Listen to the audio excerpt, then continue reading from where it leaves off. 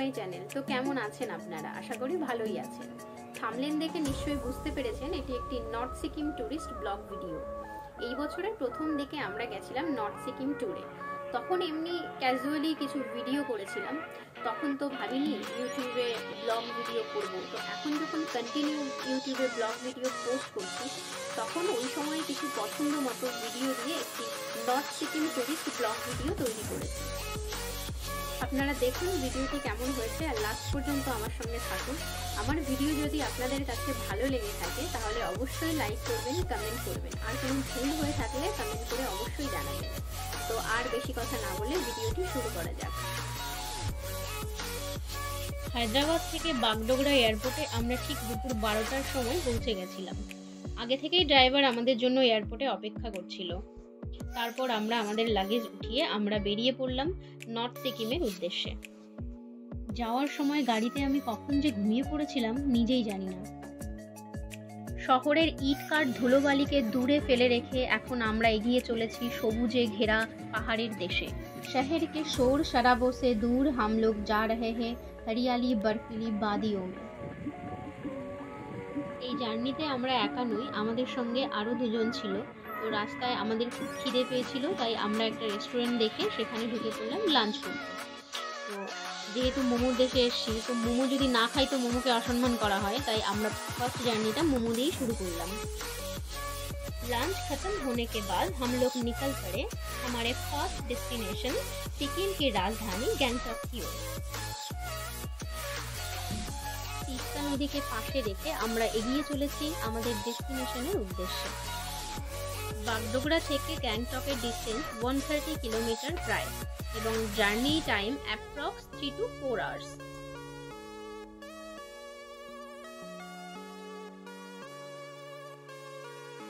Bagdogra से गैंगटॉक की दूरी 130 किलोमीटर है जो 3 टू 4 आवर्स में पूरी होती है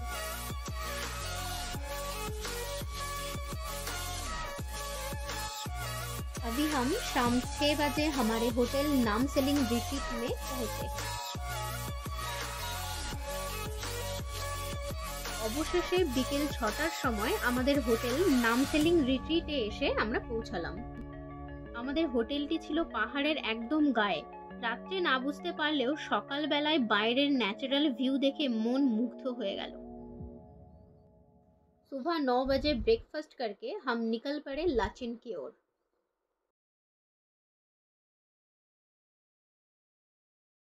সকাল নটায় ব্রেকফাস্ট করে আমরা বেরিয়ে পড়লাম লাচেনের উদ্দেশ্যে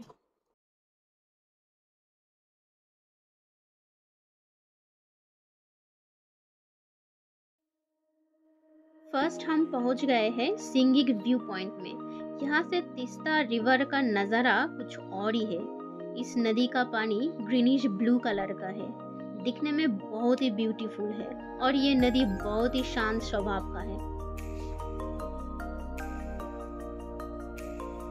আমরা পৌঁছে গেছি আমাদের ফার্স্ট ডেস্টিনেশন সিঙ্গিক ভিউ পয়েন্টে এখান থেকে তিস্তা নদী একদম পুরোটা দেখা যায় আর আলাদাই সুন্দর লাগে ভিউটা অসাধারণ দেখতে।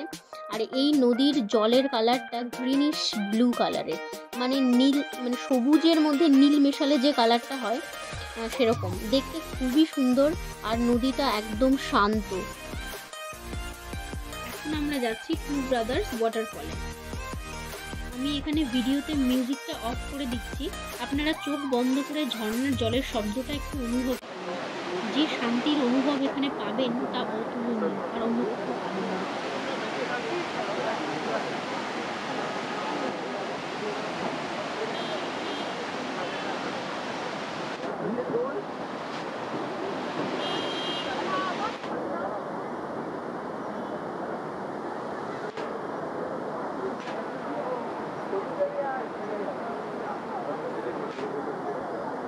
তো ফ্রেন্ডস এটাই হলো টু ব্রাদার্স ওয়াটারফল আপনারা দেখুন ওয়াটারফলটা কীভাবে আসছে।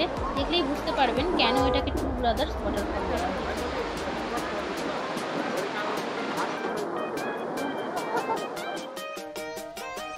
আমরা এখন যাচ্ছি লাচেনের উদ্দেশ্যে। আমাদের এই ট্যুরটি প্রি বুকিং করা ছিল Robin flow tour and travel থেকে। এজেন্টের ডিটেলস এবং ট্যুর প্ল্যানের ডিটেলস ভিডিওর ডেসক্রিপশন বক্সে দেওয়া আছে, আপনারা চাইলে দেখে নিতে পারেন। আমাদের এই tour প্যাকেজটি three days and four night ছিল। সেখানে two night Gangtok one night Lachen and one night Lachung ছিল। টোটাল ট্যুর গাইড ম্যাপ কিছুক্ষণের মধ্যে আপনাদের সঙ্গে শেয়ার করছি।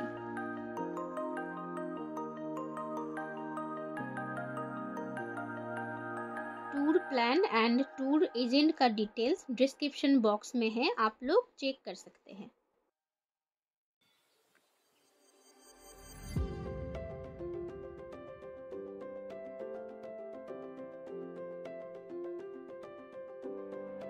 প্রথম আমরা গ্যাংটক থেকে লাচেন গেছিলাম লাচেন নাইট স্টে করার পর আমরা আর্লি মর্নিং গেছিলাম গুরুদংমা লেক গুরুদংমা লেক থেকে আমরা লাচেন হয়ে গেছিলাম লাচুং লাচুংয়ে নাইট স্টে করার পর আমরা ইয়ামথাং ভ্যালি হয়ে আমরা সোজা চলে গেছিলাম জিরো পয়েন্ট জিরো পয়েন্ট থেকে আমরা আবার गैंगटॉकेर होटल फिरे गए लाचेन पहुंचने से पहले हम लोग तीस्ता रिवर बैरेज की साइड में रुक के चाय नाश्ता कर लिए थे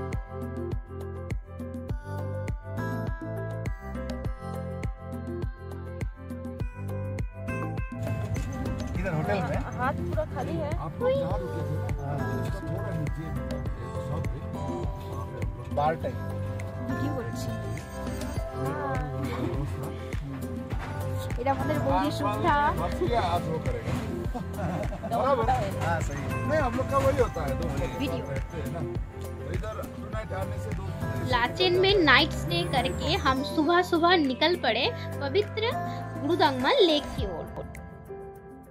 আমরা এখন লাচেন থেকে গুরুদংমার লেকের দিকে যাচ্ছি।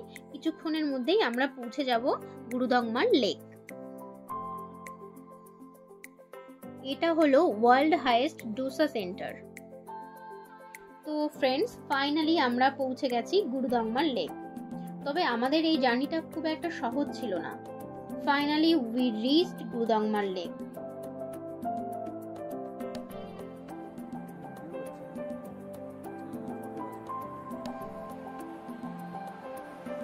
ওয়েদারে সেটেল হতে আমাদের একটু টাইম লাগছিল তাই একটু চুপচাপ হয়ে বসেছিলাম তবে পরে ধীরে ধীরে নর্মাল হয়ে গেছিল।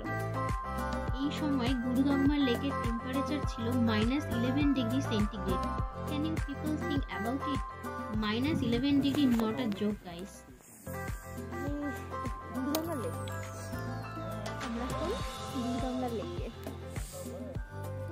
বড় বলো দেখা। পেছনটা লেক ব্যাক ক্যামেরাতে দেখো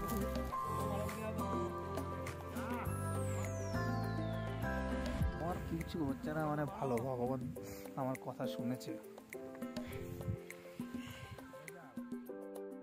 पौराणिक कथा के अनुसार गुरु पद्म संभावा तिब्बत की ओर यात्रा कर रहे थे उस समय उन्होंने गुरुदांगमा लेक देखा जो पूरी तरह बर्फ से ढका हुआ था इंसान के भलाई के लिए उन्होंने लेक के एक तरफ हाथ रखे थे अभी भी लेक के एक तरफ पानी और एक तरफ बर्फ है तब से आज तक लेक के उस तरफ बर्फ नहीं जमती है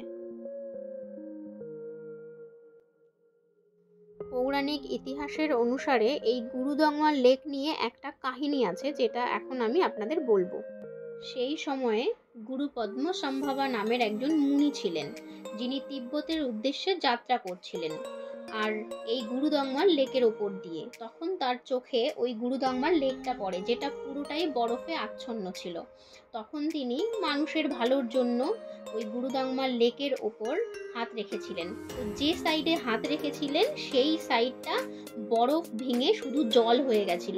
তো আজও সেই লেকের এক সাইডে কখনোই বরফ জমে না আর অপোজিট সাইডে বরফ জমে থাকে। মনে হচ্ছে মারবে ওটা আমি হচ্ছে মন্ডলের বউ যে চাকরি করে এনএফসিতে সে করে শুধু পাওয়ার তৈরি। এই। এখানে বরফ তৈরি হচ্ছে। ইউরেনিয়াম যদি একটা এখানে মেরে দিতুম তাহলে পুরো গরম হয়ে যেত। একটা ইউরেনিয়াম অ্যাটম ব্রেক হওয়া হয়েছে এ এটা পরে হোটেল থেকে আমরা রাতেই লাচুংয়ে চলে এসেছিলাম। আমরা এই হোটেলটায় স্টে করেছিলাম। হোটেল ওনারের বিহেভিয়ার খুবই ভালো ছিল। হোটেলের বাইরের ভিউটা যখন আমরা সকালবেলায় উঠে দেখলাম, আর অন্য কোথাও যাওয়ার মনই চাইছিল না, সে এক আলাদা অনুভূতি। লাচুং একটি ছোট্ট গ্রাম, আর এটি লাচুং পাহাড় দিয়ে ঘেরা। আর্লি মর্নিংয়ে সূর্যের আলো যখন এই পাহাড়ের গায়ে রিফ্লেক্ট করছিল তখন পাহাড়গুলোকে বিভূতিভূষণের গল্পের সোনার পাহাড়ের মতো লাগছিল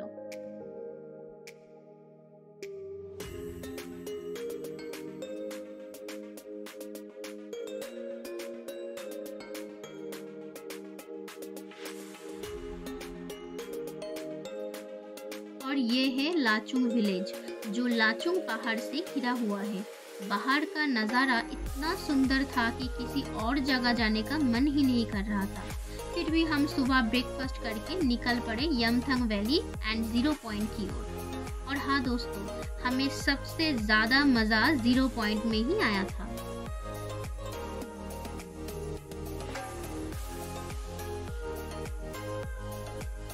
জিরো পয়েন্টে যাওয়ার সময় আমরা অমিতাভ বচ্চন ওয়াটারফলে গেছিলাম এই ওয়াটারফলটার উচ্চতা অনেকটা লম্বা তাই এর ডাক নাম এইরকম কিন্তু এই ওয়াটারফলের আসল নাম হলো ভীমনালা ওয়াটারফল दोस्तों ये है अमिताभ बच्चन वाटरफॉल इसका ऊंचाई बहुत ज़्यादा है इसलिए इसका नाम ऐसा है बट इसका असली नाम है भीमनाला वाटरफॉल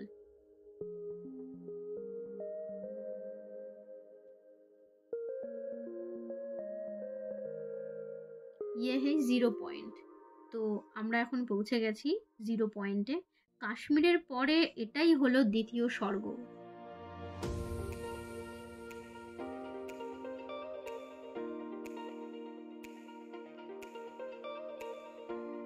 প্রচণ্ড ঠান্ডা থাকা সত্ত্বেও আমরা খুব মজা করছিলাম। ওখানে যাওয়ার পর আমরা কি করব কিছুই বুঝতে পারছিলাম না। ফটো তুলবো ভিডিও করব না বরফ নিয়ে খেলব? জিরো পয়েন্টের পাশেই একটা ছোট্ট জলধারা বয়ে যাচ্ছিল, আর তার চারপাশে শুধুই বরফ আর বরফ। যেদিকেই দুজক যাচ্ছিল, সেদিকেই সাদা সাদা পেজা তুলোর মতো বরফ ছড়ানো ছিল।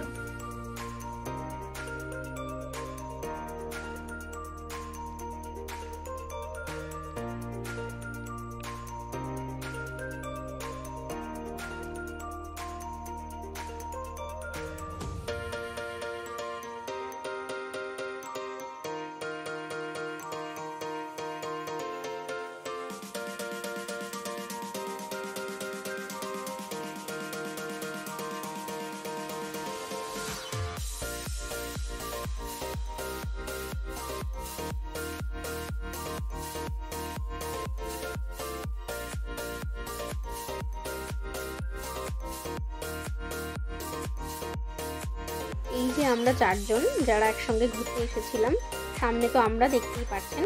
আর পেছনে আমাদের অমৃত দাদা আর আমাদের শুভ্রা বৌদি। ওরা তো বাচ্চাদের মতো হয়ে গেছিল, গিয়ে প্রচণ্ড বরফের মধ্যে খেলছিল। আমাদের ছেড়ে কোথায় চলে গেছিল আমরা খুঁজে পাইনি। লাস্টে গিয়ে আমরা একসঙ্গে মিলেছি, যখন গাড়িতে উঠবো। তার মাঝখানে সবাই আলাদা হয়ে গেছিলাম।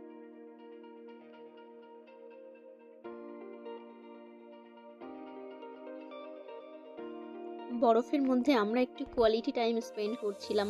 দুজনে মারামারি করছিলাম, বরফ নিয়ে খেলছিলাম, তারপর ভিডিও করছিলাম, ছবি তুলছিলাম, চারিপাশটা দেখছিলাম, কে কি করছে, কি না করছে এই সব আর কি।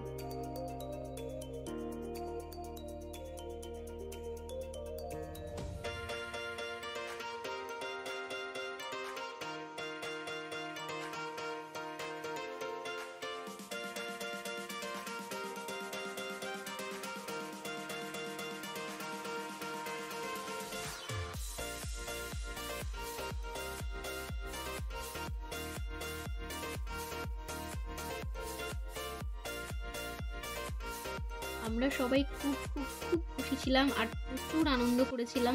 সেটা নিশ্চয়ই আপনারা আশা করি ভিডিও দেখে ভালোভাবেই বুঝতে পারছেন।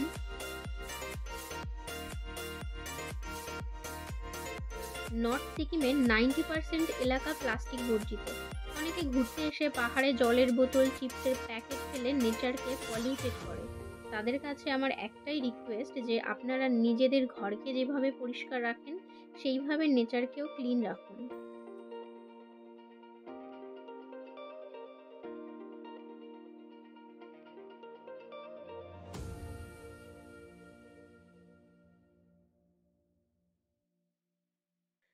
আমি একটা বড় বরফের টুকরো তুলেছিলাম। বরফটা হালকা ছিল। এখানের বরফ একটু নরম। যেরকম গুরুদংমার লেকে যখন আমরা গেছিলাম, তখন ওখানের বরফগুলো খুব হার্ড ছিল, খুব শক্ত। আর এইখানের বরফগুলো ধরে একটু গুঁড়ো করলেই ঝুরঝুরে হয়ে যাচ্ছিল। ওই জন্য সহজেই এখান থেকে বরফ তুলতে পারছিলাম আর বরফ দিয়ে আমরা খেলতে পারছিলাম। আমি তো বরফ গুঁড়ো করে সবার গায়ে ছুঁড়ে ছুঁড়ে মারছিলাম। এখানকার নাম জিরো পয়েন্টের কারণ হলো এটি ইন্ডিয়া আর চায়না বর্ডারের একদম কাছে অবস্থিত। এরপরে নর্মাল সিটিজেনদের আর অ্যালাউ করা হয় না। কেবলমাত্র ইন্ডিয়ান আর্মিরাই যেতে পারে। নর্থ সিকিম ঘোরার সময় অনেক দুর্গম জায়গায় ইন্ডিয়ান আর্মিদের বেস ক্যাম্প ছিল। তারা যদি আমাদের জন্য এইসব জায়গায় নিজের জীবন স্যাক্রিফাইস করে ডিউটি না করত, তাহলে দেশের ভেতরে আমরা শান্তিতে থাকতে পারতাম না। তাই এদের জন্য স্যালিউট তো দিতেই হয়। Thanks to Indian army. আর হ্যাঁ এইসব জায়গায় টয়লেটের খুব সমস্যা, তাই একটু আগে থেকে প্রিপারেশন নিয়ে বেরোবেন। আমরা জিরো পয়েন্ট থেকে ইয়ামথাং ভ্যালি গিয়েছিলাম। সাধারণত ওখানে অনেক রকমের ফুল ফুটে থাকে, তাই একে ভ্যালি অফ ফ্লাওয়ার্স বলা হয়। কিন্তু জানুয়ারি মাসে প্রচুর বরফ পড়ায় সে দৃশ্য আমরা দেখতে পাইনি। তো ভিউয়ার্স ভিডিওটা আজকের মতো এখানেই শেষ করছি। এরপরে আমরা দার্জিলিং গেছিলাম, খুব তাড়াতাড়ি আপনাদের সঙ্গে সেই ব্লগটাও শেয়ার করব।